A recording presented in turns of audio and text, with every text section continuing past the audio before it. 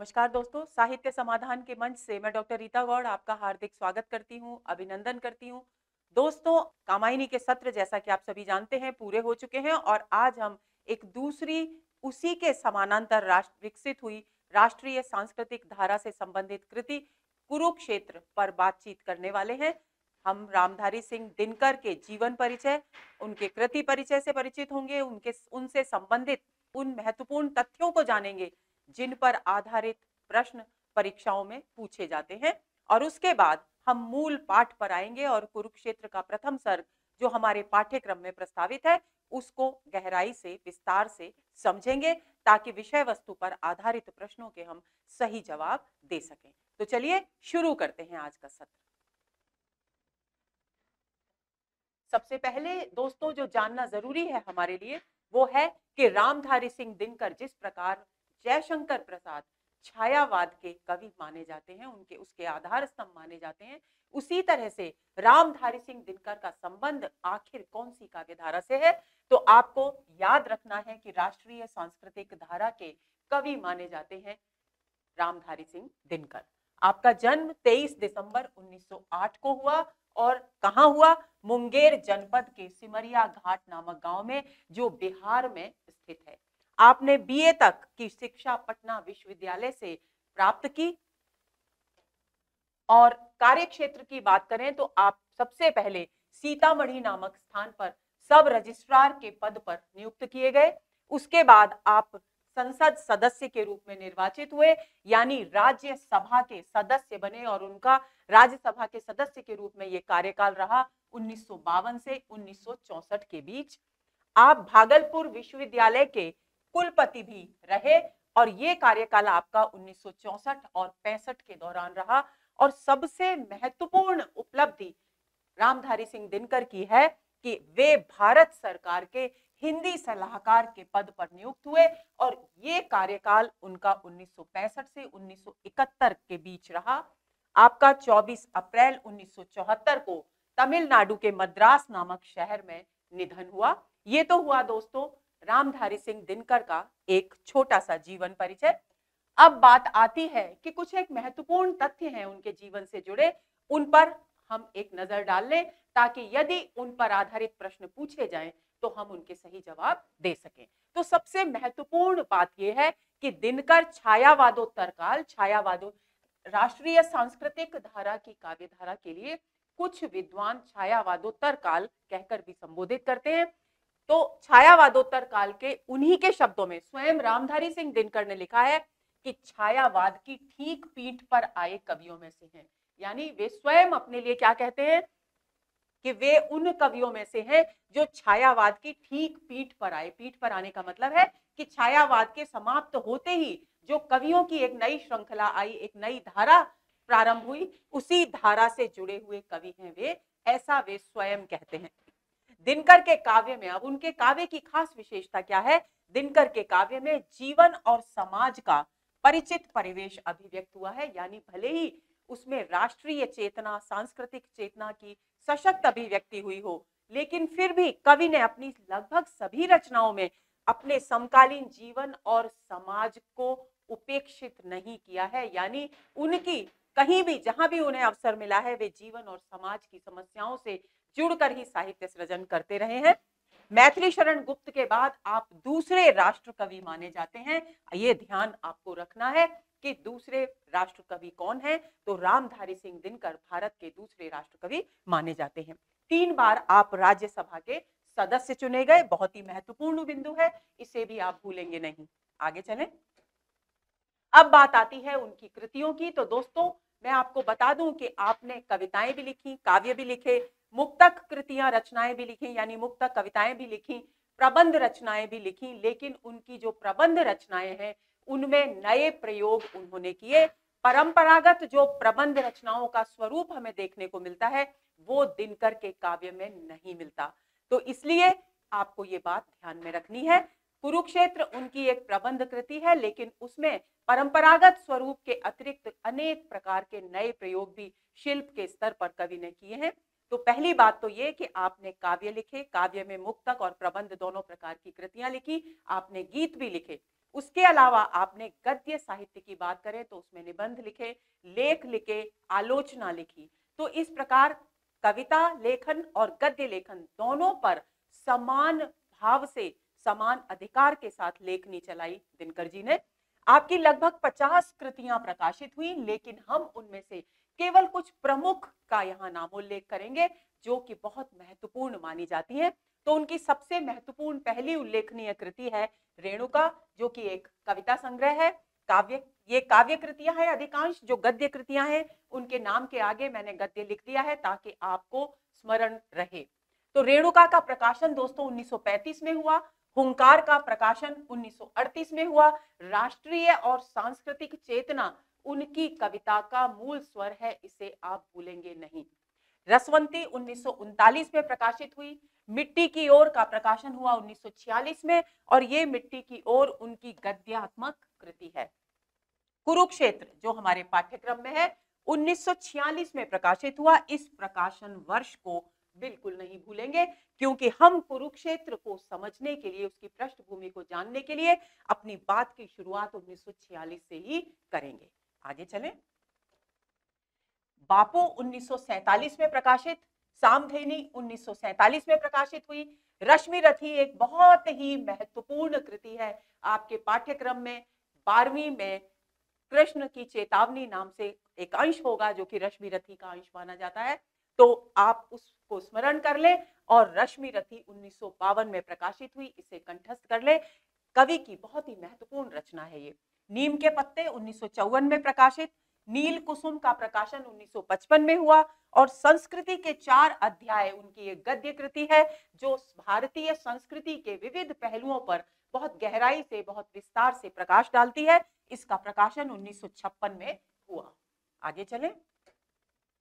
काव्य की भूमिका उन्नीस में प्रकाशित हुई। ये भी उनकी एक आलोचनात्मक गद्य से संबंधित कृति है।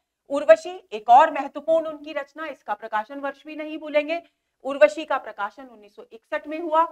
परशुराम की प्रतीक्षा, ये एक अन्य महत्वपूर्ण रचना है कवि की, इसका प्रकाशन वर्ष भी कंठस्थ कर लेंगे उन्नीस में। प्रकाशित हुई परशुराम की प्रतीक्षा, इसके बाद आत्मा की आँखें का प्रकाशन हुआ उन्नीस में, कोयला और कवित्व का प्रकाशन भी उन्नीस में ही हुआ।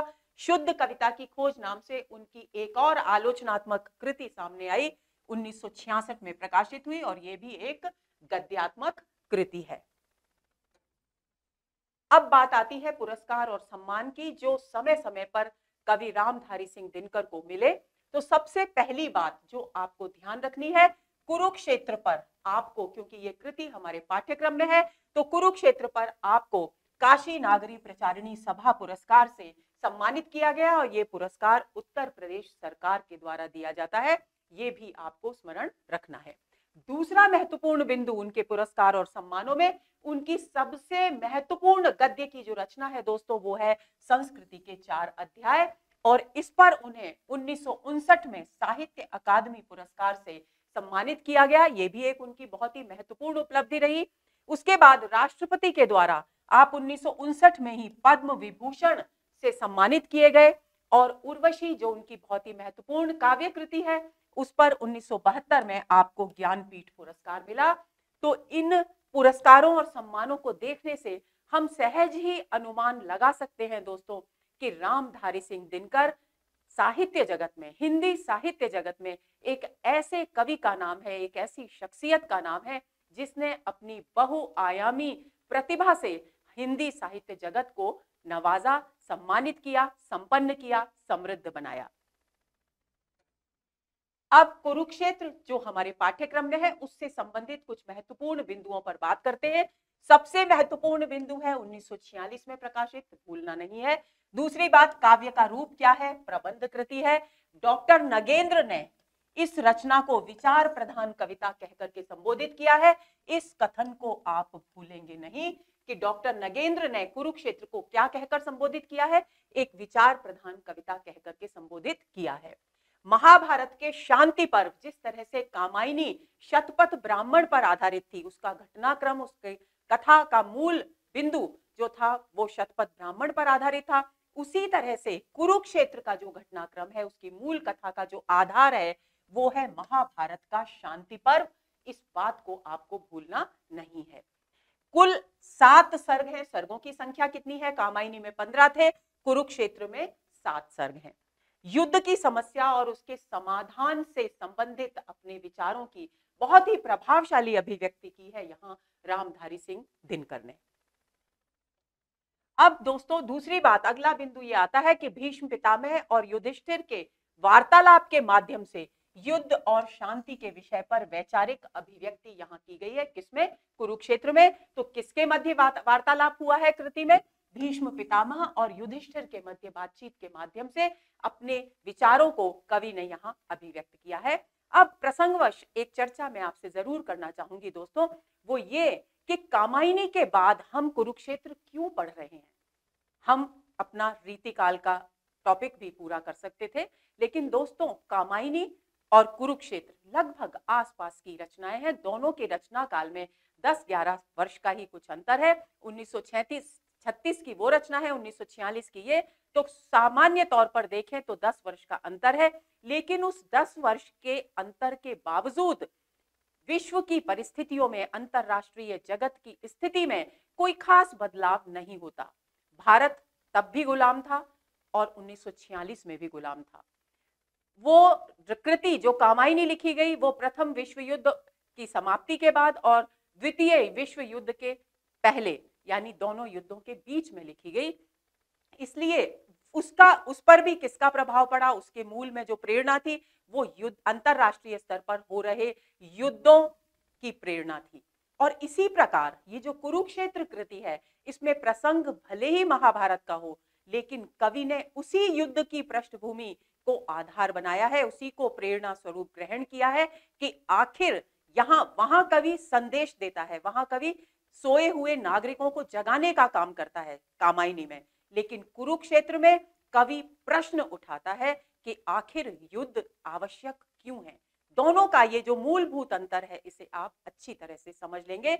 यहाँ युद्ध और हिंसा की समस्या को कवि ने बहुत ही सहज तरीके से संस्कृति के परिप्रेक्ष्य में, संस्कृति की पृष्ठभूमि पर उठाकर प्रस्तुत किया है और उसके समाधान तलाशने की कोशिश की है। कामायनी में कवि, सद्भाव विश्व बंधुत्व आनंदवाद, समरसतावाद, सभी विपरीत स्थितियों में आनंद पूर्वक जीने का संदेश देता है और यहाँ कवि ये प्रश्न उठाता है कि आखिर युद्ध विश्व में आवश्यक क्यों है? शांति स्थापना के लिए भी युद्ध क्यों करना पड़ता है? ये सबसे महत्वपूर्ण समस्या है जो कुरुक्षेत्र काव्य के माध्यम से रामधारी सिंह दिनकर ने उठाई है। अब जो प्रथम सर्ग हमारे पाठ्यक्रम में है दोस्तों, उसे हम, उसके कथासार से परिचित होते हैं। तो कथासार, जैसा कि मैंने आपको बताया, महाभारत की पृष्ठभूमि पर आधारित है, शांति पर्व पर आधारित है। दोस्तों, महाभारत का युद्ध समाप्त हो जाता है, यानी कुरुक्षेत्र का युद्ध समाप्त हो जाता है, और शांति पर्व में, महाभारत का एक पर्व है शांति पर्व उस शांति पर्व में युद्ध के बाद की स्थिति का वर्णन किया गया है और उस शांति पर्व में युधिष्ठिर को पश्चाताप करते हुए, दुखी होते हुए बताया गया है क्योंकि उन्हें ऐसा महसूस हो रहा है कि इतना भयंकर युद्ध करने के बाद, इतनी हिंसा करने के बाद, इतने निरीह प्राणियों के बलिदान देने के बाद भी उनको जो उपलब्धि प्राप्त हुई है राज्य के रूप में, क्या वास्तव में उनकी आकांक्षा इस राज्य को प्राप्त करने की ही थी? और इसी बिंदु से कुरुक्षेत्र के प्रथम सर्ग की शुरुआत होती है। तो संक्षेप में इसके कथासार पर नज़र डालते हैं। महाभारत के युद्ध के पश्चात युधिष्ठिर के पश्चाताप और उनकी आत्मग्लानी का चित्रण है। उन्हें कहीं ना कहीं ये लग रहा है कि कुरुक्षेत्र का युद्ध करके उन्होंने सबसे बड़ी अपने जीवन की भूल की है। तो वे पछता रहे हैं, उनका पछतावा भी है और उनकी आत्मग्लानी भी है। आगे चले। एक और पांडव और उनके समर्थक, क्योंकि विजय, विजयी हो चुके हैं पांडव तो बहुत ही विपरीत स्थितियों में कवि ने इस काव्य को आगे बढ़ाया है। एक और पांडव है, युधिष्ठिर को छोड़कर बाकी शेष जो पांडव हैं और उनके जो समर्थक हैं, वो विजय का आनंद बना रहे हैं। यानी हम जब कभी कोई सफलता प्राप्त करते हैं तो जिस प्रकार की हर्ष ध्वनि करते हैं, अपने आनंद को अभिव्यक्त करते हैं, उसी प्रकार से पांडव भी अपने इस महान कुरुक्षेत्र के युद्ध में मिली विजय का आनंद बना रहे हैं। लेकिन इस आनंद के विपरीत, इस आनंद में युधिष्ठिर शामिल नहीं है, क्योंकि वो सबसे बड़े पांडव हैं। और उनका नैतिक दायित्व है इस युद्ध के प्रति तो वे क्या कर रहे हैं? इस युद्ध में हुए नरसंहार को देखकर शोक मग्न हो रहे हैं, क्योंकि वे देख रहे हैं कि एक और उनका जो पड़ाव है, जो शिविर है युद्ध भूमि में, वहाँ से हर्ष और उल्लास की ध्वनियाँ आ रही हैं विजयोत्सव मनाने की आवाज़ें आ रही हैं, लेकिन उन्हें दूसरी ओर उस कुरुक्षेत्र की विशाल भूमि में बिखरे नरमुंड, शव और रक्तपात आदि के जो दृश्य हैं, वो भी दिखाई दे रहे हैं और वो उन्हें देखकर दुखी हो रहे हैं, पीड़ित हो रहे हैं। उन्हें बार बार ये प्रश्न दुखी कर रहा है। अभी इस प्रश्न को ध्यान से देखेंगे। उन्हें बार बार ये प्रश्न दुखी कर रहा है कि युद्ध तो सुख और शांति के लिए लड़ा गया था, क्योंकि युधिष्ठिर के लिए युद्ध लड़ना क्यों अनिवार्य हो गया? क्योंकि उन्होंने चाहा कि वे अपने भाइयों के साथ, अपने पारिवारिक जनों के साथ शांति और सुख से अपना जीवन व्यतीत करें। प्रजा भी सुख और शांति से रहे और वे भी अपने परिवार में सुख और शांति से रहे। लेकिन युद्ध में विजय मिल गई, राज्य मिल गया। लेकिन सुख और शांति जो उनका मूल लक्ष्य था, वही उस युद्ध के बाद नहीं मिले। तो वो सोचते हैं कि सुख और शांति के लिए ये युद्ध लड़ा गया था, परंतु वह शत्रुओं, जो, शत्रु कौन? जो उनके भाई बंधु थे, के संघार के साथ ही समाप्त हो गया। यानी युधिष्ठिर के मन में बार बार ये प्रश्न उठ रहा है कि जो सुख और जो शांति उन्हें इस युद्ध के माध्यम से चाहिए थी, वो तो उन्हें मिली नहीं, बल्कि वे अपने भाई बंधुओं को भी खो बैठे जो इस युद्ध में, मृत्यु की गोद में सो गए या जो जिन्होंने अपने प्राणों की बलि दे दी। आगे चलते हैं। युधिष्ठिर रक्त रंजित महाभारत के युद्ध के समाप्त होने पर पीड़ित हैं, क्योंकि उन्हें पीड़ा दे रहे हैं वो शव, वो रक्तपात जो उन्हें युद्ध की भूमि में दिखाई दे रहा है बिछुड़ गए, अपने प्राणों की बलि दे चुके, वो अपने बंधु बांधव उन्हें पीड़ित कर रहे हैं। यह सोच रहे हैं कि हम किसी क्रूर नीतिज्ञ के वचन का पालन करने के लिए युद्ध छेड़ देते हैं। अब देखिए, इस बिंदु को आपको ध्यान में रखना है, क्योंकि यहीं से ये महाभारत के युद्ध के प्रसंग में जो बात कवि ने उठाई है, युद्ध और हिंसा की समस्या की, वही बात यहाँ समकालीन संदर्भ से जुड़ती है, यानी कवि ने 1946 के वर्ष में जब ये कृति लिखी, जबकि 1945 में द्वितीय महायुद्ध समाप्त हो चुका था, उसके रक्तपात के दृश्य कवि के हृदय पर अंकित थे। दूसरी ओर, भारत में अंग्रेज़ों का शोषण, उनके अत्याचार दिनों दिन बढ़ते जा रहे थे, स्वतंत्रता आंदोलन अपनी चरम सीमा पर था, क्योंकि इसके ठीक एक वर्ष बाद हमारा देश आज़ाद हो गया था। तो इन सारी स्थितियों को समझेंगे तो इस प्रसंग के माध्यम से कवि समकालीन संदर्भ से, अपनी समकालीन परिस्थितियों से इस कविता के तथ्य को जोड़ता है। तो वो कहते हैं कि वे सोच रहे हैं कि हम किसी क्रूर नीतिज्ञ नीतिज्ञ से मतलब है राजनीतिज्ञ। और किस प्रकार के राजनीतिज्ञ का संकेत? जब हम मूल पाठ पढ़ेंगे, व्याख्याएँ पढ़ेंगे, तब आपके सामने ये बात बिल्कुल स्पष्ट हो जाएगी। वे राजनीतिज्ञ, क्यों? राजनीति के माध्यम से अपने छोटे छोटे स्वार्थों की पूर्ति करते हैं, जिनके सामने शांति स्थापना का विस्तृत लक्ष्य नहीं होता, बल्कि अपने छोटे छोटे स्वार्थों की पूर्ति करना ही जिनका उद्देश्य होता है। भले ही उन स्वार्थों की पूर्ति करते समय कितने भी निरीह प्राणियों की, निरपराध प्राणियों की बलि क्यों न चढ़ जाए, उन्हें उस बात से कोई फ़र्क नहीं पड़ता। तो उन राजनीतिज्ञों की बात कर रहे हैं, जो युद्ध को अपनी स्वार्थ पूर्ति का माध्यम बनाते हैं। अगला बिंदु, उस नीतिज्ञ का हृदय। नीतिज्ञ यानी नीतिज्ञ से, संबंध राजनीतिज्ञ से है, आप इस तरीके से ग्रहण करेंगे। उस नीतिज्ञ का हृदय, कौन नीतिज्ञ जिसने युद्ध की प्रेरणा दी, युद्ध को आग बनाया? तो युद्ध की आग को भड़काया। उस नीतिज्ञ का हृदय जितना दूषित है, उसका मस्तिष्क भी उतना ही जिद्दी और बलशाली है। आगे चले। वह स्वयं युद्ध नहीं करता। राजनीतिज्ञ केवल अपने मोहरे बिछाता है। वो स्वयं युद्ध नहीं करता, समकालीन संदर्भ है। किस प्रकार के राजनीतिक दाव पेच उस समय 1946 के समय में और उससे पहले अंतरराष्ट्रीय जगत में खेले जा रहे थे, उन्हीं की ओर यहाँ संकेत किया गया है कि वह स्वयं युद्ध नहीं करता। कौन? राजनीतिज्ञ। नव युवकों को युद्ध में झोंक कर देश के सम्मान की रक्षा करने का दम भरता है। वास्तव में देश का सम्मान तो एक आवरण मात्र है, एक प्रदर्शन मात्र है, एक दिखावा मात्र है। असली उद्देश्य उसका क्या है? असली उद्देश्य है अपने छोटे छोटे स्वार्थों को पूरा करना। युद्ध के बाद वह उन पत्नियों और माताओं के नाम पर सम्मान लेता है। कौन सी पत्नी? जिसने, जिसका पति युद्ध के दौरान अपने प्राणों को, की बलि देने में पीछे नहीं हटा, यानी जिसने युद्ध में अपने प्राणों की बलि दे दी, वे माताएँ जिन्होंने अपने पुत्र देश के नाम पर बलिदान कर दिए, उनके नाम पर वो सम्मान लेता है। जिन्होंने अपने पति तथा पुत्र के पुत्र की, देश की रक्षा के नाम पर युद्ध की भेंट कर दिए, उनके नाम पर वो क्या करता है? सम्मान स्वीकार करता है। आगे चलें। युधिष्ठिर को प्रतीत होता है कि जैसे देश के सम्मान की बात केवल स्वार्थ लोलुप नेताओं की कुटिल एवं हिंसक भावनाओं को छिपाने का आवरण मात्र है, यानी देश के सम्मान की आड़ में, इस बात की आड़ में वे वास्तव में अपनी कुटिल राजनीतिक चालों को छिपाया करते हैं। दिखाते हैं कि वे देश के सम्मान के लिए ये सब कर रहे हैं, लेकिन वास्तव में उसके मूल में देश का सम्मान होता ही नहीं है, बल्कि स्वार्थ सिद्धि की भावना विद्यमान होती है।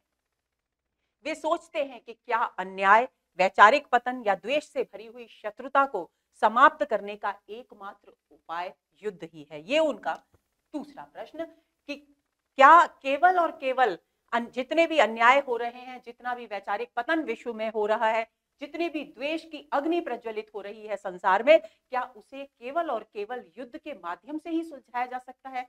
क्या इसका समाधान इन समस्याओं को सुलझाने का कोई और रास्ता युद्ध के अतिरिक्त है ही नहीं? ये सबसे बड़ा प्रश्न है दोस्तों, जिसे इस कृति के माध्यम से रामधारी सिंह दिनकर ने हमारे सामने प्रस्तुत किया है। आगे चलते हैं। कवि कहते हैं कि मनुष्य का हृदय शायद पत्थर के समान कठोर है। पत्थर के समान कठोर होने का मतलब है कि संवेदनाहीन है, क्योंकि उसे अपने प्राणों की बलि दे रहे नवयुवकों के को देखकर उसकी संवेदनाएँ जागृत नहीं होती। अपने पुत्रों से विहीन माताओं की पीड़ा उसकी संवेदनाओं को नहीं जगाती। जिन विधवाओं के सिंदूर लुट गए देश के सम्मान के नाम पर, उनकी पीड़ा उसे पीड़ित नहीं करती। इसलिए वो क्या कहते हैं कि ये जो मनुष्य है, कौन सा मनुष्य? जो युद्ध लड़ रहा है और जो युद्ध करवा रहा है, उन दोनों के हृदय शायद पत्थर से बने हैं। इसलिए वह पहले किए गए युद्ध की पीड़ा भूलकर पुनः युद्ध की ओर प्रवृत्त हो जाते हैं। थोड़े दिन एक युद्ध होने पर पश्चाताप करते हैं, लेकिन उसके बाद जब दूसरा अवसर आता है, वे फिर से सारी पुरानी बातें, सारी पुरानी पीड़ाएँ भूलकर नए सिरे से युद्ध के लिए तत्पर हो जाते हैं। इस सर्ग में कवि ने द्रौपदी के तेरह वर्षों से खुले केशों की प्रतिशोध से भरी हुई घटना भीम के द्वारा दुशासन की छाती का लहू पीने और भीम के द्वारा द्रोणाचार्य के पुत्र अश्वत्थामा के शीश की मणि निकालकर द्रौपदी को देने की घटनाओं के द्वारा युद्ध की निर्ममता की ओर संकेत किया है। इस बात को ध्यान में रखेंगे। इन सभी घटनाओं का ज़िक्र प्रथम सर्ग में आता है। महाभारत के युद्ध में कौरवों का पूर्ण नाश हो गया। अब उनकी मृत्यु पर आँसू बहाने, उनका श्राद्ध करने के लिए केवल वृद्धा माता, गांधारी और नेत्रहीन पिता धृतराष्ट्र ही शेष रहे। कैसी विडंबना है कि जिस राज्य के लिए, जिस अहंकार की पूर्ति के लिए, अहंकार के पोषण के लिए युद्ध लड़ा गया, उसमें सारे के सारे पुत्र ही बलि चढ़ गए देश के सम्मान के नाम पर। अब यह हर्ष ध्वनि कौन सी हर्ष ध्वनि जिसकी शुरुआत में चर्चा हुई थी, जो पांडवों के शिविर से जो हर्ष की आवाज़ें आ रही थी, उसकी बात की जा रही है। अब यह हर्ष ध्वनि वास्तव में शेष रह गए जो जीवित बचे हैं युद्ध के बाद। उन मनुष्यों पर एक तीखा व्यंग्य सी प्रतीत हो रही है। किसको प्रतीत हो रही है? युधिष्ठिर को प्रतीत हो रही है। युधिष्ठिर को लगता है मानो स्वप्न में दुर्योधन उनसे कह रहा हो कि हम तो अब संसार सागर से पार उतर गए हैं और उस स्थान पर आ गए हैं जहाँ से हमें महाभारत का युद्ध एक स्वप्न की तरह सारहीन दिखाई देता है। यानी उन्हें लगता है कि जिस युद्ध को वो इतनी तत्परता से लड़ते रहे, अब दुर्योधन उन्हें स्वप्न में आकर ये कह रहा है कि जिस युद्ध के लिए तुम लड़ रहे थे, जिस राज्य के लिए तुमने लड़ाई की, वास्तव में वो अब हमें मृत्यु के बाद सारहीन यानी व्यर्थ, निरर्थक, महत्वहीन प्रतीत हो रहा है। और इस विचार से युधिष्ठिर का जो आत्मग्लानी है, जो पश्चाताप है, वो और अधिक बढ़ जाता है। अब तुम विजय पराजय के प्रश्न का हल ढूंढते रहो। मानो दुर्योधन युधिष्ठिर से कह रहा है कि अब तुम विजय के बाद कौन विजयी हुआ, कौन पराजित हुआ उस प्रश्न का हल ढूंढते रहे, क्योंकि तुम कहने का अभिप्राय क्या है कि तुम तो विजयी होकर भी पराजित हो गए, क्योंकि तुम्हारे सगे संबंधी बंधु बांधव सब मृत्यु की गोद में सो गए। और पश्चाताप और मानसिक पीड़ा से भरे इस विजय के उपहार का आनंद लो। उन्हें ऐसा प्रतीत होता है, मानो दुर्योधन मृत्यु के बाद भी उन पर व्यंग्य कर रहा है। युधिष्ठिर सोचते हैं कि वे युद्ध के द्वारा जिसे प्राप्त करना चाहते थे वह उन्हें वास्तव में प्राप्त हुआ भी है या उनके हाथ से उड़ गया। क्योंकि युधिष्ठिर युद्ध के माध्यम से शांति चाहते थे, सद्भाव चाहते थे, लेकिन वह उन्हें मिला ही नहीं। युधिष्ठिर पश्चाताप कर रहे हैं कि जिस शांति को मैं युद्ध से प्राप्त करना चाहता था, वह शांति और सौहार्द शत्रुओं की मृत्यु के साथ ही हवा में उड़ गए और बदले में मुझे व्यंग्य और पश्चाताप दे गए, क्योंकि शांति और सौहार्द को मिला ही नहीं, बल्कि बदले में क्या मिला? व्यंग्य और पश्चाताप। पाँच असहिष्णु मनुष्यों के आपसी द्वेष ने संपूर्ण राज्य को नष्ट कर दिया। कौन से राज्य की बात की जा रही है? कुरु राज्य की बात की जा रही है। और पाँच असहिष्णु मनुष्य यानी पाँच पांडव। तो युधिष्ठिर को ऐसा लगता है, पाँच पांडवों की आपसी द्वेष की जो भावना थी, कौरवों और पांडवों के, कौरवों के प्रति, उसने इस युद्ध को जन्म दिया और इस सारे राज्य को जो विस्तृत, इतना मज़बूत, इतना शक्तिशाली राज्य था, उसे पूरी तरह से तहस नहस कर दिया। वे सोचते हैं कि क्या मैंने युद्ध इसीलिए किया था कि प्रिया, द्रौपदी सुंदर वस्त्रों से सुसज्जित रहे और हम सभी भाई अहंकार युक्त होकर राज्य का सुख हो गए क्योंकि उसके बाद, युद्ध के बाद जो उन्हें प्राप्त हुआ है, वो प्राप्त हुआ है ऐश्वर्यशाली राज्य, सुंदर वस्त्रों में अलंकृत द्रौपदी।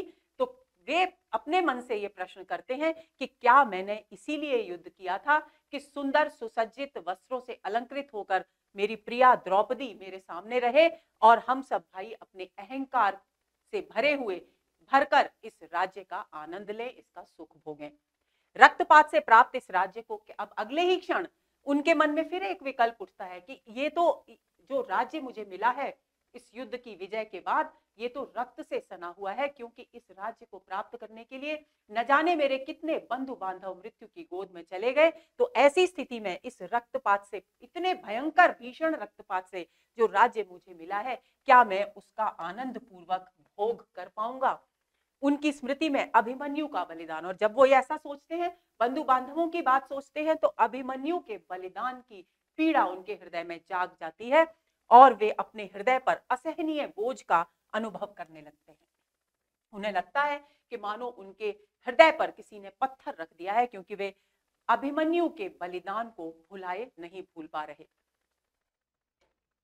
इसके पश्चात उनकी बुद्धि किंग कर्तव्य विमूढ़ हो जाती है। किंग कर्तव्य विमूढ़ वो स्थिति होती है दोस्तों, जबकि हमारे लिए ये निर्णय करना मुश्किल हो जाए कि क्या करूँ और क्या न करूँ। तो वही स्थिति हो जाती है कि अब उनके सामने प्रश्न है, दो रास्ते हैं कि मैं इसका आनंद मनाऊं जो मुझे विजय प्राप्त हुई है, या मैं पश्चाताप की अग्नि में डूबा रहूँ और युद्ध के बाद जिस शांति की कामना मैंने की थी, मैं उस शांति की को अपने भीतर महसूस करूँ।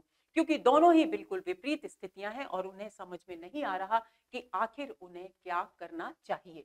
उनका हृदय पीड़ा से भर जाता है और वे अपनी पीड़ा को हल्का करने के लिए पितामह के पास जाते हैं। और दोस्तों, पितामह के पास जाने की बात कहकर ही वे पितामह के पास जाने की बात कहते हैं और यहीं पर प्रथम सर्ग समाप्त हो जाता है। तो दोस्तों, ये हुआ संक्षेप में प्रथम सर्ग का सारांश। अब हम शुरू करते हैं अपना मूल पाठ। तो सबसे पहली जो शुरुआत की पंक्ति है, इसको आप कंठस्थ कर लेंगे। कि प्रश्न पूछा जा सकता है, कुरुक्षेत्र के प्रथम सर्ग की पहली पंक्ति कौन सी है? तो आप याद रखेंगे वह कौन रोता है वहाँ। तो यहाँ इस प्रकार कवि अपनी बात को व्यक्त कर रहे वह कौन रोता है वहाँ इतिहास के अध्याय पर। जिसमें लिखा है नौजवानों के लहू का मूल है प्रत्यय किसी बूढ़े कुटिल नीतिज्ञ के व्यवहार का जिसका हृदय उतना मलिन जितना कि शीर्ष वलक्ष है। अब दे, देखिए दोस्तों यहाँ क्या बात कही जा रही है। यहाँ बात की जा रही है कि इतिहास के अध्याय का मतलब है इतिहास के पन्ने इतिहास के पन्ने। कवि कहते हैं कि इतिहास के पन्नों में बहुत सारी युद्ध की कहानियाँ भरी हुई हैं, उनका वर्णन किया जा रहा है और उन कहानियों के मूल में बहुत सारे लोगों की पीड़ाएँ हमें दिखाई देती हैं, पीड़ा, पीड़ाएँ हमें हमारे सामने अभिव्यक्त होती हैं। तो ऐसी स्थिति में कवि प्रश्न करते हैं कि आखिर इतिहास के उन पन्नों में कौन व्यक्ति रो रहा है, जिसके रोने की आवाज़, जिसकी पीड़ा हम तक पहुँच रही है? जिसमें लिखा है, नौजवानों के लहू का मोल है और उन पन्नों में जो कहानी लिखी हुई है, युद्ध का जो वर्णन किया गया है, उसमें ये बताया गया है कि ये जो विजय हमें प्राप्त हुई है युद्ध में, वो नौजवानों के लहू के बदले प्राप्त हुई है, यानी नौजवानों के बलिदान के बाद हमें ये सफलता, ये विजय की प्राप्ति हुई है। प्रत्यय किसी बूढ़े कुटिल नीतिज्ञ के व्यवहार का। और ये युद्ध की स्थिति कब पैदा होती है? जब हम किसी बूढ़े, यानी अनुभवी, बूढ़े से मतलब यहाँ पर अनुभवी, यानी जिसे राजनीति का बहुत अधिक अनुभव है, ऐसे किसी बूढ़े, कुटिल, यानी चतुर नीतिज्ञ, यानी राजनीतिज्ञ, मैंने आपको बताया था, राजनीतिज्ञ के बातों पर, उसके व्यवहार पर, यानी उसकी बातों पर प्रत्यय, यानी विश्वास करके। हम अपने आप को युद्ध में झोंक देते हैं। यानी वे इतिहास की बात कर रहे हैं कि इतिहास में जितने भी युद्ध हुए, उन युद्धों के मूल में कोई न कोई कुटिल और अनुभवी राजनीतिज्ञ की कूटनीति विद्यमान थी और उस कूटनीति की बातों पर विश्वास करके जो नौजवान थे, वे उस युद्ध की आग में कूद पड़े और उन्होंने विजय प्राप्त करने के लिए अपने देश के सम्मान के नाम पर अपने प्राणों की आहुति दे दी। और वही पीड़ा क्योंकि वे जो नौजवान वहाँ बलिदान हुए, वे किसी के पति थे, किसी के पुत्र थे तो वही पीड़ा इतिहास के पन्नों में बिखरी पड़ी है। इस पृष्ठभूमि के द्वारा दोस्तों, रामधारी सिंह दिनकर इस बात की ओर संकेत कर रहे हैं कि युद्ध हमेशा पीड़ा को जन्म देते हैं। युद्ध हमेशा पश्चाताप और आत्मग्लानी को जन्म देते हैं। उनसे शांति प्राप्त नहीं की जा सकती, क्योंकि ऐसा प्रयास इतिहास के युद्धों में अनेक बार हुआ जब देश के सम्मान के नाम पर बड़े बड़े युद्ध लड़े गए, लेकिन उसके बाद हाथ में शांति नहीं आई, सद्भाव नहीं आया। आया तो केवल राज्य या सीमा विस्तार या फिर रोने के करुण क्रंदन की आवाज़ें, यानी पीड़ा। जिसका हृदय, अब ये कौन से कुटिल राजनीतिज्ञों की बात कर रहे हैं कि जिनके हृदय उतने ही मलिन है, मैले हैं, यानी दूषित भावनाओं से युक्त है, जितना कि वलक्ष का मतलब होता है श्वेत। श्वेत का यहाँ हम सांकेतिक अर्थ ग्रहण करेंगे उज्जवल। यानी तेजस्वी। कि वो जो रा, अनुभवी राजनीतिज्ञ है कुटल कुटिल उसका मस्तक यानी उसका मस्तिष्क जितना तेजस्वी है जितना उज्जवल है जितनी बड़ी बड़ी बातें उसे करनी आती हैं अपनी बुद्धि के द्वारा उससे कहीं अधिक मलिनता दूषित विचार उसके हृदय में विद्यमान है। तो दो परस्पर विरोधी स्थितियों का वर्णन किया गया है तो विरोधाभास अलंकार है। तो यहाँ पर किस बात की ओर संकेत किया जा रहा है कि वो अपने मस्तिष्क, जिसका मस्तिष्क बहुत तेजस्वी है, उस मस्तिष्क का, उस विचारों का सहारा लेकर वह प्रदर्शन तो वो राजनीतिज्ञ ये करता है कि हम देश के सम्मान के लिए इस युद्ध को कर रहे हैं, लेकिन वास्तव में उस युद्ध के मूल में जो भाव होता है, वो होता है अपने छोटे छोटे स्वार्थों की पूर्ति करना। यानी इतिहास पर दृष्टि डालें तो जितने भी युद्ध हुए, वे या तो साम्राज्य विस्तार की दृष्टि से हुए या अहंकारों के टकराव की दृष्टि से हुए तो ये अहंकारों का टकराव और साम्राज्य विस्तार की जो बात है, वो देश के सम्मान से बहुत छोटी है। तो ये उन राजनीतिज्ञों के मलिन हृदय की ओर संकेत करती है। उसी पृष्ठभूमि को यहाँ पर अभिव्यक्त कर रहे हैं रामधारी सिंह दिनकर। आगे चले। जो आप तो लड़ता नहीं, अब वो कुटिल राजनीतिज्ञ कितना चतुर है? स्वयं युद्ध लड़ने नहीं जाता, अपने प्राणों को सुरक्षित रखता है, लेकिन कटवा किशोरों को मगर आश्वस्त होकर सोचता कि, लेकिन जो किशोर हैं, जो नौजवान हैं, उनको अपने स्वार्थ की पूर्ति के लिए युद्ध में झोंक देता है, उनके सिर कट जाते हैं, यानी वे वे किशोर अपना अपने प्राणों की बलि दे देते हैं क्योंकि उनको क्या कहा गया है? उन्हें कौन सा रास्ता दिखाया गया है कि देश के सम्मान के लिए ये युद्ध किया जा रहा है जबकि वास्तव में ऐसा नहीं है। तो वो दे, देश के सम्मान के नाम पर किशोरों की बलि चढ़ा देता है आश्वस्त और फिर जब युद्ध में विजय प्राप्त हो जाती है तो बिल्कुल आश्वस्त होकर तसल्ली से बैठकर युद्ध पर विचार करता है कि उससे उसे क्या उपलब्धि प्राप्त हुई तो वो ये सोचता है शोणित बहा रक्त तो बहा युद्ध में कोई बात नहीं। लेकिन गई बचलाज सारे देश की। और दिखाने के लिए क्या कहता है कि बहुत खून खराबा तो बहुत हुआ। ये युद्ध में हमारे बहुत सारे सैनिक हताहत हो गए प्राणों की बलि दे दी उन्होंने। लेकिन हमार, हम हमारे लिए देश का सम्मान बचाना आसान हो गया। हम युद्ध के माध्यम से अपने देश के सम्मान की रक्षा कर सके। लेकिन यहाँ पर प्रश्न चिन्ह इस बात का संकेतक है दोस्तों कि कवि इस बात की ओर संकेत करना चाहते हैं कि वह राजनीतिज्ञ अपने भीतर कितनी दूषित विचारधाराएँ पनपे हुए हैं, पाले हुए हैं, क्योंकि वो देश के सम्मान के नाम पर नौजवानों के जीवन से खेल रहा है। आगे चले, यहाँ प्रश्न अलंकार हो गया है।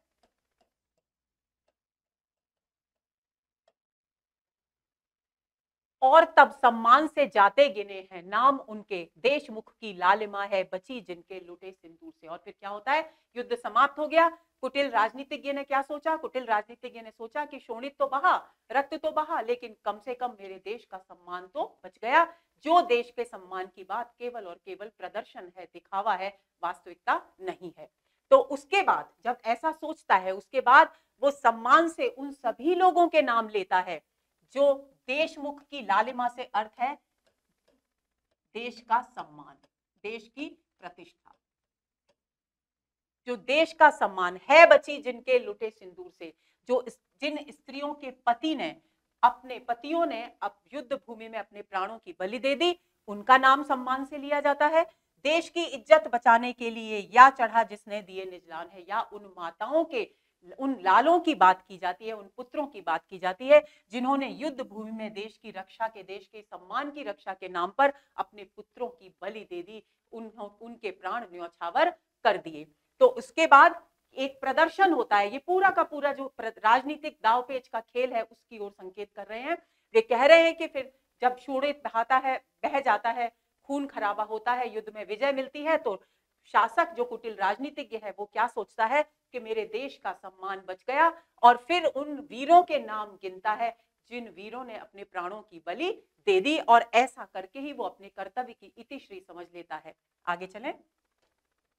ईश जाने, देश का लज्जा विषय। अब देखिए, वहाँ तक बात थी राजनीतिज्ञ की। अब लेखक कवि दिनकर कह रहे हैं कि ये तो ईश्वर ही जाने कि जिस देश के सम्मान के नाम पर करोड़ों नवयुवकों के प्राणों की बलि दे दी गई युद्ध में। वह वास्तविकता थी, वास्तव में युद्ध का कारण था या कारण कुछ और था? यही प्रश्न यहाँ अभिव्यक्त किया गया है। ईश जाने, यानी ईश्वर ही जाने, देश का लज्जा विषय तत्व है कोई कि केवल आवरण। कि ये देश की लज्जा, देश के सम्मान का जो मूल कारण है, जो विषय है, वो वास्तव में कारण है। मूल कारण है युद्ध का या केवल और केवल आवरण, यानी दिखावा है। यानी प्रदर्शन मात्र है। उस हलाहल सी कुटिल द्रोहाग्नि का किसको छिपाने? देखिए, आवरण किस लिए होता है? आवरण होता है किसी भी चीज़ को छिपाने के लिए। तो अब ये आवरण अगर है तो कवि बता रहे हैं कि ये किसका आवरण है? किस चीज़ को इस देश के सम्मान के आवरण के नीचे छिपाया जा रहा है? उस हलाहल सी कुटिल द्रोहाग्नि का सबसे पहले क्या छिपाया जा रहा है? बहुत ध्यान देंगे इस बात पर। हलाहल यानी विष के समान। सबसे कठोर सबसे प्रभावशाली, सबसे बलशाली जो विष होता है, उसे हलाहल कहते हैं, जो समुद्र मंथन के समय समुद्र से निकला था। तो हलाहल यानी विष के समान, जो कुटिल द्रोहाग्नि द्रोहाग्नि का अर्थ होता है ईर्ष्या की अग्नि। कि जो ईर्ष्या की अग्नि उस कुटिल राजनीतिज्ञ के हृदय में धधक रही है, उसको छिपाने का, और जो कैसी है विष के समान घातक है। विष के समान घातक क्यों है? क्योंकि उसी ईर्ष्या की अग्नि से प्रभावित होकर नौ नौजवानों की बलि दी जाती है। यानी उनके प्राणों वो ईर्ष्या उनके प्राणों के लिए हलाहल यानी विष के समान प्रतीत होती है। इसलिए कवि ने यहाँ हलाहल कुटिल द्रोहाग्नि को हलाहल सी कहा है। प्रश्न पूछा जा सकता है कि हलाहल सी किसे कहा गया है या किस इसका उप, उपमेय क्या है? तो आप ध्यान रखेंगे। द्रोहाग्नि को हलाहल सी कहा गया है। यहाँ उपमा अलंकार है। इसका आवरण है। दूसरा, जो कि जलती आ रही चिरकाल से, और ये द्रोहाग्नि कैसी है ये अभी नहीं उत्पन्न हुई इस आधुनिक काल में, बल्कि ये अनादि काल से, बहुत पुराने समय से, ये मनुष्य के हृदय में, कुटिल राजनीतिज्ञों के हृदय में जलती चली आ रही है, और इसी के कारण समय समय पर इतिहास में अनेक युद्ध लड़े जाते रहे हैं। स्वार्थ लोलुप सभ्यता के अग्रणी नायकों के पेट में जठराग्नि सी। और ये द्रोहाग्नि कैसी है? ये द्रोहाग्नि एक तरफ़ तो हलाहल सी है, दूसरी ओर जठराग्नि के समान है। यहाँ भी उपमा अलंकार हो गया। जठराग्नि जब हमें बहुत तेज भूख लगती है दोस्तों तो हमारे पेट में जो आग लगती है, वो जठराग्नि होती है। बहुत सारी अग्नियाँ हमारे शरीर में विद्यमान होती है। उनमें से एक अग्नि होती है जठराग्नि। तो उस जठराग्नि के समान ये द्रोहाग्नि जो है द्रोह की अग्नि, ईर्ष्या की आग, सभ्यता के, जो सभ्यता के अग्रणी कौन? नेता। राजनीतिज्ञ जो सभ्यता के अग्रणी नेतृत्व कर, सभ्यता का नेतृत्व करने वाले जो कुटिल राजनीतिज्ञ हैं, उनकी स्वार्थ लोलुपता, यानी स्वार्थ सिद्धि की भावना, स्वार्थ सिद्धि और लालच की जो भावना है उसका आवरण है ये देश के सम्मान की बात करना। यानी दो चीज़ों का आवरण हो गया, कुटिल द्रोहाग्नि का और स्वार्थ, स्वार्थी और लालची मनोवृत्ति का। तो इस बात को आप ध्यान में रखेंगे। कवि ये कहना चाहते हैं यहाँ पर कि इस देश के सम्मान के नाम पर वास्तव में वो कुटिल राजनीतिज्ञ जो युद्ध की सारी भूमिका बनाते हैं, युद्ध लड़ने के लिए लोगों को प्रेरित करते हैं, वे वास्तव में अपने हृदय में, अपने आग जो जल रही है उनके हृदय में ईर्ष्या की, उस आग के माध्यम उसको छिपाने का प्रयास करते हैं और अपने उस आग को छिपाकर अपने स्वार्थ और अपने लालच को पूरा करना चाहते हैं। देश के सम्मान का तो केवल प्रदर्शन मात्र किया जाता है। मूल कारण देश के सम्मान की रक्षा नहीं होता, बल्कि मूल कारण होता है अपने स्वार्थ की सिद्धि करना। आगे चलते हैं। विश्व मानव के हृदय निर्द्वेश में मूल हो सकता नहीं द्रोहाग्नि का। अब कवि अपने हृदय में चिंतन कर रहे हैं कि ये द्रोह की अग्नि जो है, ईर्ष्या की जो अग्नि है, वो वास्तव में युद्ध का कारण बनती है, क्योंकि ईर्ष्या जब अनादिकाल से लोगों के मन में पैदा होती है तो वो दूसरों से जलते हैं और उस जलन से प्रेरित होकर युद्ध की आग में नव युवकों को झोंक देते हैं। तो वो चिंतन करता है कि आखिर ये द्रोह की अग्नि आई कहाँ से? तो कवि कहते हैं कि विश्व में जो मानव का हृदय है वो निर्द्वेश है, यानी द्वेष से रहित है। द्वेष से रहित होने का मतलब है कि शुद्ध भावनाओं से युक्त है।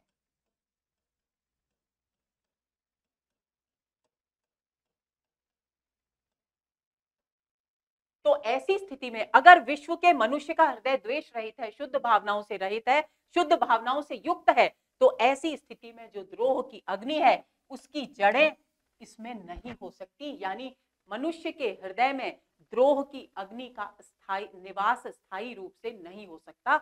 इसका कोई ना कोई और कारण है। इसकी जड़ें कहीं और विद्यमान है। चाहता लड़ना नहीं समुदाय है। और आगे कवि कहते हैं कि ये जो मानव समुदाय है, ये वास्तव में स्वयं युद्ध नहीं करना चाहता, बल्कि फैलती लपटें विशैली व्यक्तियों की सांस से ये पंक्ति बहुत महत्वपूर्ण है। पूछा जा सकता है। अब इसका अर्थ क्या है? वो कहता है कि वास्तव में ये मानव समुदाय युद्ध नहीं लड़ना चाहता, क्योंकि उसका हृदय तो पवित्र है, शुद्ध भावनाओं से युक्त है। लेकिन वास्तव में ये युद्ध की, आग की जो लपटे हैं, जो विशैले व्यक्तियों की सांसों से फैलती हैं। विशैले व्यक्तियों की सांसों का मतलब क्या हुआ? दूषित, स्वार्थ संपन्न, विचारधारा। अब विचारधारा को सांस से क्यों जोड़ा गया है? क्योंकि हम जब बोलते हैं दोस्तों, तभी हम दूसरे के सामने अपने विचार अभिव्यक्त करते हैं और बोलते हैं तो हम सांस पी लेते हैं। तो सांसों को विचारधारा से यहाँ पर इसलिए जोड़ा गया है। तो इस पंक्ति का क्या अर्थ है? इस तरह का प्रश्न परीक्षा में पूछा जा सकता है।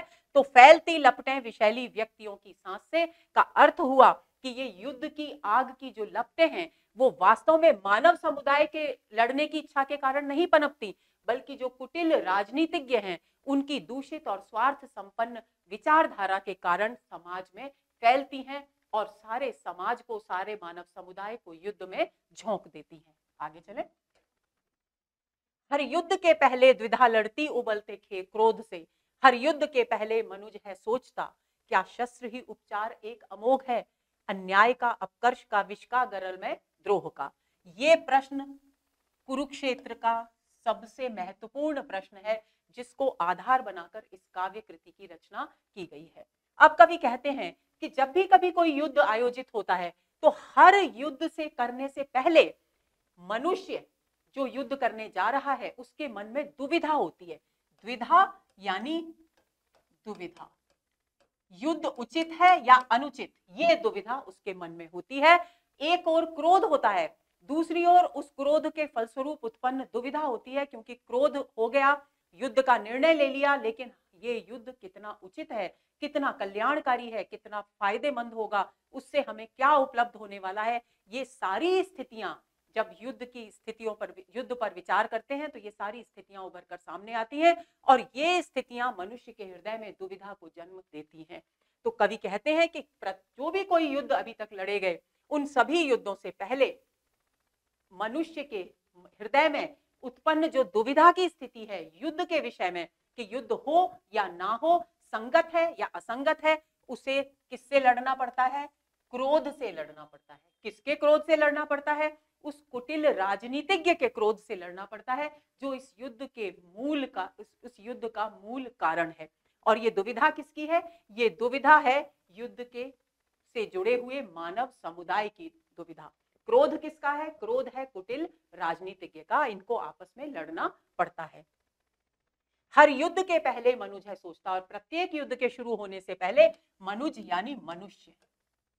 मनुष्य ये सोचता है कि क्या केवल और केवल इस सारी समस्या जो जगत में है, उसे सुलझाने का एकमात्र अमोघ यानी अचूक जो शस्त्र है वो क्या केवल और केवल युद्ध ही है?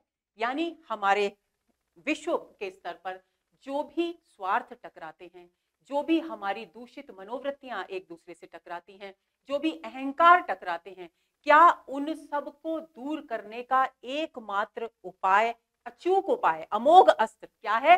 क्या केवल युद्ध ही है? या युद्ध के इसकी व्यंजित भावना क्या है? इसकी व्यंजित भावना है कि क्या युद्ध के अलावा किसी अन्य माध्यम से विश्व में शांति और सौहार्द की स्थापना नहीं की जा सकती। बात उसी शांति और सौहार्द के बिंदु पर आ टिकी है दोस्तों, जो कामायनी में जयशंकर प्रसाद ने प्रस्तुत किया। केवल प्रस्तुतिकरण का, कथा का फ़र्क था, मूल उद्देश्य वही है। तो इस बात को आप ध्यान में रखेंगे, कुरुक्षेत्र का मूल प्रश्न है ये। अन्याय का, अपकर्ष का, विष का, गरल में, द्रोह का। और किस, किसका उपचार करना है? जो अन्याय फैल रहा है पृथ्वी पर जिस पतन के कारण लोग दुखी हैं, जो विष विचारों का फैल रहा है, दूषित विचार फैल रहे हैं, या जो गरल गरल का मतलब होता है विष। विष से युक्त जो विद्रोह या ईर्ष्या का भाव जो उत्पन्न हो रहा है, जो विशैला मलिन, पुरा, दूषित ईर्ष्या का भाव है, इन सबको विश्व से समाप्त करने का एक ही उपाय है युद्ध। क्या ये वास्तव में सच है? ये प्रश्न खड़ा कर रहे हैं रामधारी सिंह दिनकर हमारे सामने। आगे चलते हैं। लड़ना उसे पड़ता मगर। लेकिन ये सारे प्रश्न होते हैं, दुविधा होती है, लेकिन कुटिल राजनीतिज्ञ के इशारों पर, उसके प्रभाव में आकर, देश के सम्मान के नाम पर प्रत्येक मानव समुदाय को लड़ना पड़ता है। और जब वो उस युद्ध में विजय प्राप्त कर लेता है और जीतने के बाद भी, इस औ का मतलब है और। कई बार लय बिठाने के लिए यहाँ पर और को इस प्रकार कविता में संक्षिप्त कर दिया जाता है तो इसका अर्थ है और। और जीतने के बाद भी रणभूमि में वह देखता है सत्य को रोता हुआ। और जब वो विजय प्राप्त कर लेता है वो मानव समुदाय तो वो युद्ध की भूमि में सत्य को रोता हुआ देखता है। सत्य के रोने का मतलब क्या है? जीवन मूल्य। जीवन मूल्यों को क्षतिग्रस्त देखता है, यानी पीड़ित देखता है। उनका जीवन मूल्यों को किस प्रकार उनका दमन किया गया, ये स्थिति वो युद्ध के क्षेत्र में देखता है, क्योंकि युद्ध के बाद भी जीवन मूल्य कहीं दिखाई नहीं देते। जिन सुंदर मानवीय मूल्यों की स्थापना के लिए युद्ध किया गया, वो मानवीय मूल्य उस युद्ध की भूमि में दिखाई नहीं देते। दिखते हैं तो केवल रक्तपात के अवशेष। वह सत्य है जो रो रहा इतिहास के अध्याय में। अब देखिए, पहले पहला जो पद्यांश था, उसमें जो प्रश्न उठाया था दिनकर ने, वही उस प्रश्न का उत्तर यहाँ दिया जा रहा है। कैसे शुरुआत हुई थी? वह कौन रोता है वहाँ इतिहास के अध्याय पर? तो वो जो प्रश्न उठाया था, उसका उत्तर है, वह सत्य है जो रो रहा इतिहास के अध्याय में, कि इतिहास के पन्नों में जो रोता हुआ दिखाई देता है, जो वेदना हमें उन युद्धों के वर्णन को पढ़कर अपने हृदय में महसूस होती है, वास्तव में वो वेदना सत्य के आहत होनी है, होने की है। सत्य के चोट ग्रस्त होने की है। विजयी पुरुष के नाम पर कीचड़ नयन का डालता। और क्या होता है कि जो विजयी पुरुष होता है, उसके नाम पर क्या करता है? कीचड़ नयन का डालता, यानी मन में बुरे भाव हैं, उस युद्ध के प्रति उसकी विचारधारा, जो कुटिल राजनीतिज्ञ है, उसकी विचारधारा के प्रति, लेकिन फिर भी कीचड़ नयन का डालता, यानी आँसू बहाता है। आगे चलते हैं। उस सत्य के आघात से है झंझना उठती शिराएँ प्राण की असहाय सी। और क्या होता है कि वो जो सत्य, कौन सा सत्य? सत्य से यहाँ पर आप लेंगे मानव मूल्य। हर जगह सत्य को मानव मूल्य के रूप में देखेंगे, क्योंकि वास्तविक जो इस सृष्टि की सच्चाई है वो है मानव मूल्य, और मानव मूल्यों की स्थापना करने की कोशिश करते हैं, कुटिल राजनीति के प्रदर्शन करते हैं, लेकिन वास्तव में मानव मूल्य कभी स्थापित होते ही नहीं। अगर हो तो एक युद्ध समाप्त होने के बाद ही सौहार्द और मैत्रीपूर्ण वातावरण हो जाए विश्व में, जो कि होता नहीं, बल्कि एक युद्ध समाप्त होने के कुछ वर्ष बाद ही दूसरे विश्व युद्ध की, दूसरे युद्ध की पृष्ठभूमि तैयार होने लगती है। तो वो कहते हैं कि उस सत्य के आघात से है झंझना उठती शिराएँ प्राण की असहाय सी, कि जब उस सत्य को, उन मानव मूल्यों को पर चोट लगते हुए देखते हैं। तो क्या होता है कि हमारी जो शिराएँ हैं, हमारी जो नसें हैं, शिराएँ जो नसें हैं, वे झंझना उठती हैं। उनमें एक आक्रोश सा उत्पन्न हो जाता है, प्राण की असहाय सी। लेकिन दूसरे ही क्षण वे, क्योंकि उनके हाथ में कुछ भी नहीं है, वे कुछ नहीं कर सकते। ऐसा ही, ऐसी स्थिति में वे स्वयं को असहाय समझते हैं, क्योंकि उनके पास उस स्थिति को टालने का, उससे मुक्त होने का कोई उपाय है ही नहीं। सहसा विपंची लगे कोई अपरिचित हाथ जो वह तिल मिला उठता मगर। है जानता इस चोट का उत्तर न उसके पास है। तो क्या विपंची का मतलब होता है वीणा? अब वो कहते हैं कि इस तरह की पीड़ा हृदय में उत्पन्न होती है, जब युद्ध में, भूमि में मानव मूल्यों को चोट ग्रस्त होते हुए देखते हैं तो उसकी तुलना किससे कर रहे हैं कवि? कवि कह रहे हैं कि जैसे कोई वीणा हो और उस पर जिस व्यक्ति को वीणा बजाने नहीं आती उसका हाथ उस वीणा के तारों पर पड़ जाए और उससे जो एक बिगड़ा हुआ विकृत सा स्वर निकलेगा, वैसे ही स्वर हर युद्ध के बाद हमारे समाज में गूंजा करते हैं। यानी समाज युद्ध के बाद मानव मूल्यों की स्थापना करने में सफल नहीं होता, बल्कि और बहुत सारी विकृतियों को जन्म देता है। तो ये सारी स्थितियाँ देखकर जो मानव समुदाय है, वो तिलमिला उठता है, उसके हृदय में क्रोध की, आक्रोश की अग्नि जलने लगती है।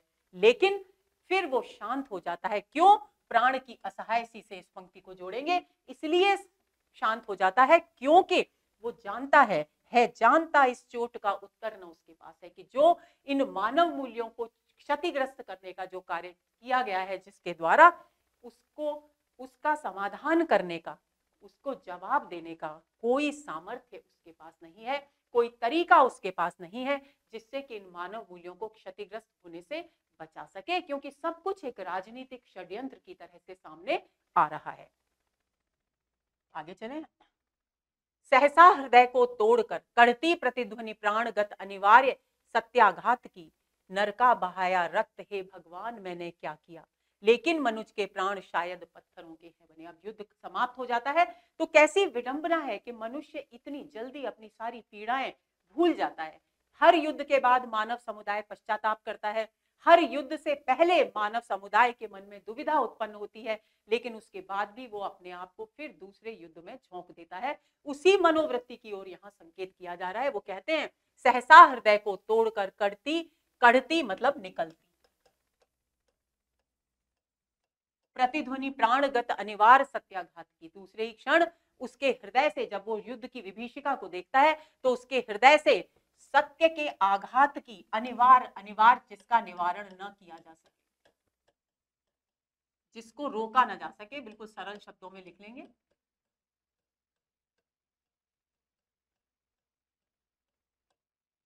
ऐसे सत्य के आघात पर चोट पड़ने से, ऐसी हृदय से प्रतिध्वनि निकलती है, यानी विद्रोह सा, आक्रोश सा उत्पन्न होता है कि हमने आखिर ये युद्ध किया ही क्यों? नर का और क्या प्रतिध्वनि निकलती है? कि हमने व्यर्थ ही इस युद्ध की भूमि में मनुष्यों का इतना सारा रक्त बहाया। हे भगवान, हमने ये क्या किया? यानी हम युद्ध के बाद उस नरसिंहार को देखकर जो मानव समुदाय है, वो कैसा हो जाता है? पश्चाताप ग्रस्त हो जाता है। और वही पश्चाताप युधिष्ठिर को पीड़ित कर रहा है कुरुक्षेत्र में। उसकी अभिव्यक्ति मानव समुदाय के पश्चाताप के माध्यम से यहाँ कवि प्रस्तुत कर रहे हैं। लेकिन मनुज के प्राण। फिर कवि दूसरी तरफ़ कहते हैं, लेकिन ये पश्चाताप करता है युद्ध के बाद हर व्यक्ति। लेकिन दूसरे ही क्षण शायद कवि कहते हैं कि मनुष्य के प्राण शायद पत्थर के बने हैं। यानी मनुष्य संभवतः संवेदनाहीन है। संवेदनाहीन इसलिए है क्योंकि वो दूसरों की पीड़ा को क्षण भर के लिए अपने हृदय में महसूस करता है और उसके बाद फिर उस पीड़ा को बिल्कुल भूलकर वही कार्य दोबारा से दोहराने लगता है। आगे चलें। इस दंश के दुख भूलकर, और कौन सा दंश है?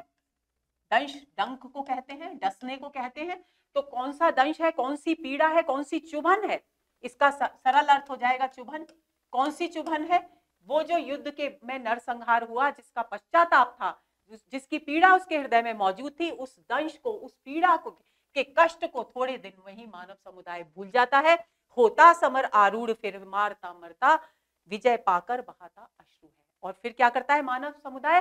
फिर से युद्ध करने के लिए तत्पर हो जाता है। समर मतलब युद्ध के लिए, आरुण मतलब तत्पर, तैयार। युद्ध के लिए तैयार हो जाता है। फिर दूसरों का संहार करता है, हिंसा करता है, स्वयं बलि हो जाता है, अपने प्राणों को न्यौछावर कर देता है। और फिर जब सफलता मिल जाती है तो फिर पश्चाताप के अश्रु बहाता है।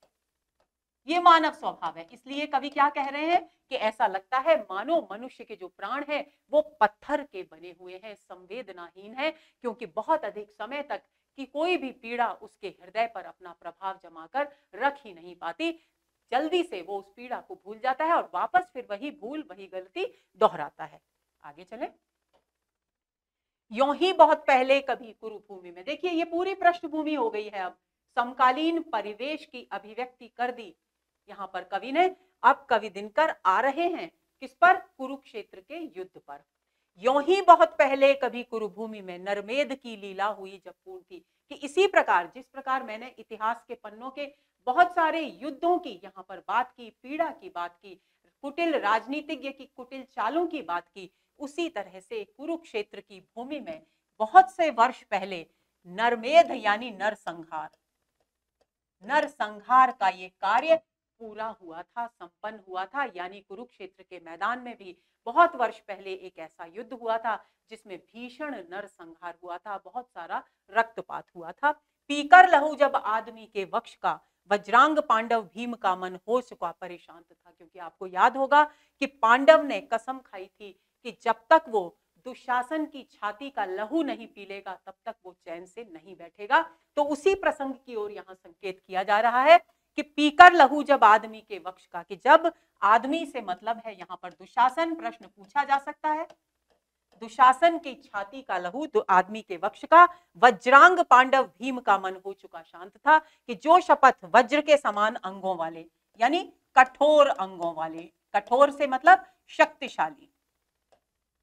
वज्रांग यानी शक्तिशाली अंगों वाले पांडव भीम ने जब अपनी संकल्प के अनुसार, अपनी प्रतिज्ञा के अनुसार दुशासन की छाती का लहू पी लिया, तब उनका जो व्याकुल मन था, जो इतने समय से द्रोह की अग्नि उनके हृदय में जल रही थी, वो जब शांत हो गई। उसी परिस्थिति की ओर यहाँ संकेत किया जा रहा है।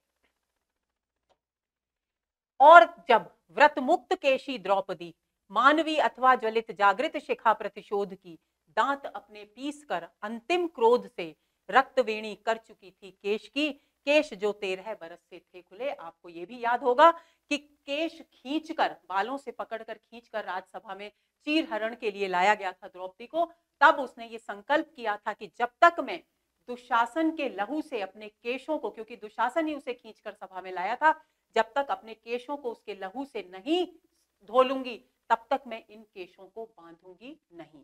तो इस बात से क्या कहना चाह रहे हैं कवि?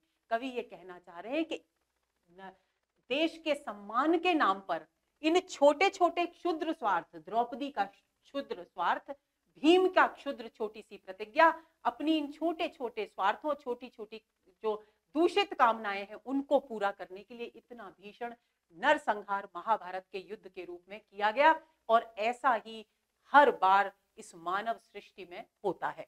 तो वो कहते हैं कि और जब व्रत मुक्त केशी द्रौपदी व्रत मुक्त केशी किसे कहा गया है? प्रश्न पूछा जा सकता है। यानी इसका अर्थ है, केशी मतलब बालों वाली मुक्त, यानी खुले बालों वाली। व्रत मतलब खुले बालों को रखने का संकल्प करने वाली द्रौपदी, मानवी अथवा, या वो मनुष्य थी स्त्री थी, नारी थी, या ज्वलित जागृत शिखा प्रतिशोध की, या वो बदले की आग, बदले की आग की एक जलती हुई जीती जागती जलती हुई प्रज्वलित प्रचंड एक शिखा थी, यानी लौ थी।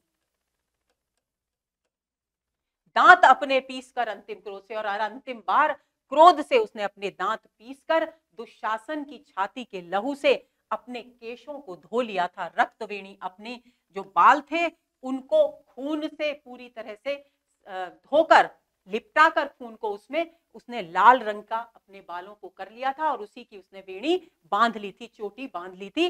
केश जो तेरह बरस से थे खुले और उसके ये केश तेरह वर्षों से खुले हुए थे।